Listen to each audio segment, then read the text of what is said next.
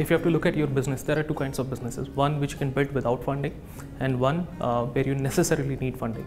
Uh, so if you're talking about the latter here, let's say today if you want to go heads on against Flipkart, uh, you might not be able to bootstrap it because there's a huge operational cost, logistics, warehouse, people, so on and so forth.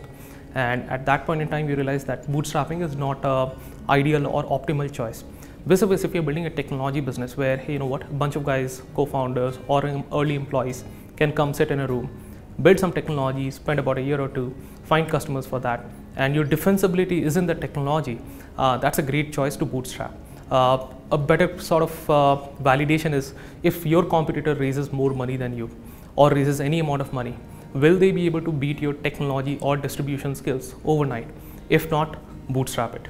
If yes, uh, probably you might need funding. If you're a first time entrepreneur, I would highly recommend bootstrapping in the initial stages. So what happens is typically what I've seen in India, uh, a lot of the entrepreneurs in the tech domain are tech guys. Uh, they're always in that build mode. And when you're in the build mode, you have not learned how to sell. What bootstrapping enables you to do is focus on a balance of building and selling. Because if you don't have money from customers, you don't know how you're going to pay your next month's salaries. So it forces you to do things outside your comfort zone. Vis a vis, if you raise money from VC, you can be in a perpetual build mode and at a later point realize that, hey, nobody's willing to buy. So at that point, you have to turn a larger ship around, which is much more difficult than turning a much smaller ship around. So first time entrepreneurs bootstrap till a point.